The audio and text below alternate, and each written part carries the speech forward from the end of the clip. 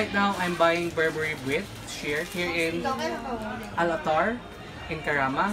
The good thing about this perfume is when you bought it in the mall, it's like 500 dirhams. But on this store, it's only like 220 dirhams. So it's a good buy. So you have to come and visit this store here in Dubai, located in Al Attar Karama. Nangaroling po. Dahil San Hey! okay, we're Ano naman picture? Magkano ganda niya ate? Check mo. May tester din sa Magkano box yung ng tester? pinagkain. Yung ganito kasi ano siya.